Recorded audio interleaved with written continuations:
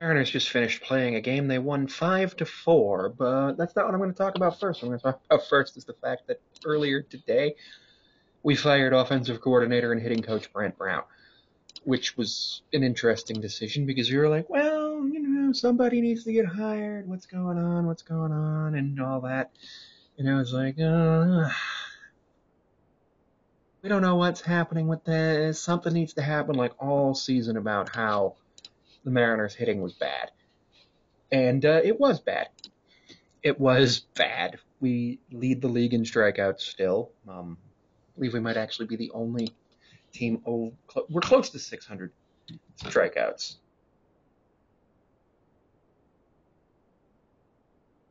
Stat leaders. Yeah. If we strike out one time tomorrow, we'll have 600 strikeouts. It's pretty hard to not strike out at least once in a game. Pretty much every every team strikes out at least once a game. uh, but that's 10.9. No, 59, 599 divided. That's exactly 10 strikeouts per game. We've walked 178 times, scored 216 runs.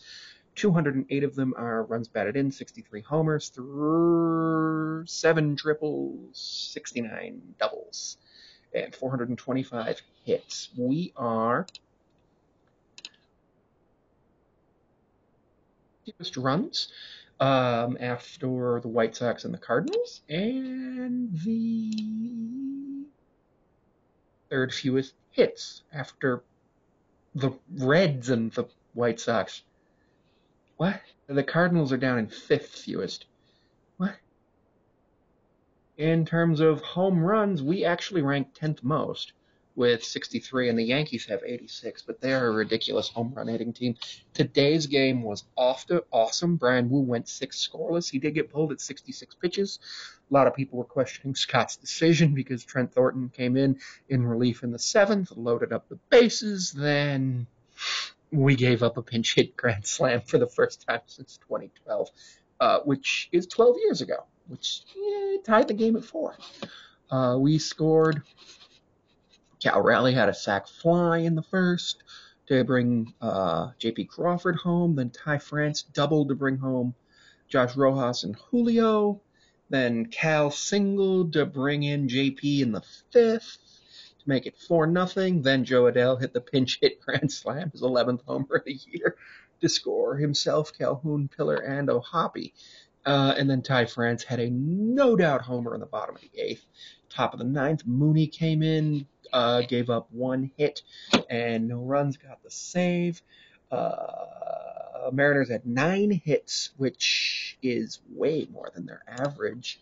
Their average right now, their hits right now are 425 divided by 59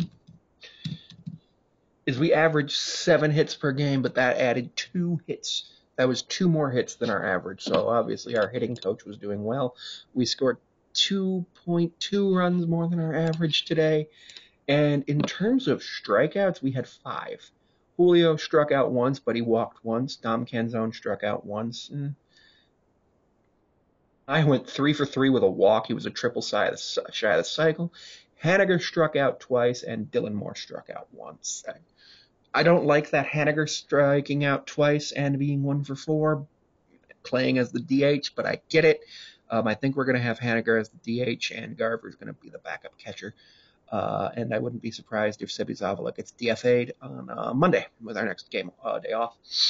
Uh, we struck out eight of the Angels, walked two, gave up seven hits.